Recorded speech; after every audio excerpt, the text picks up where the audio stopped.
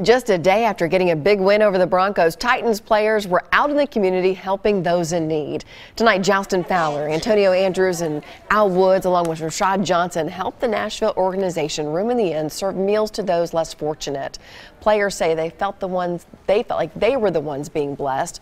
Room in the Inn helped struggling Nashvillians get back on their feet. And with the help of several area churches, the organization also provides a place for our city's homeless to sleep during the winter months.